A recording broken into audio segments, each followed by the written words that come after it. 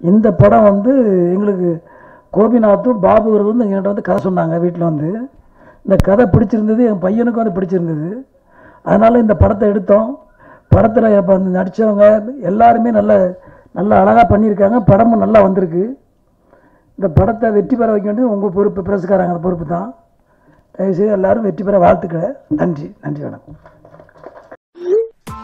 Press the bell icon on the YouTube app and never miss another update.